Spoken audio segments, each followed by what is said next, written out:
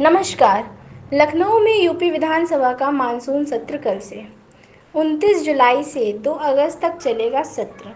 सत्र में कई अध्यादेश पटल पर रखे जाएँगे। अधिसूचनाओं को सदन के पटल पर रखा जाएगा।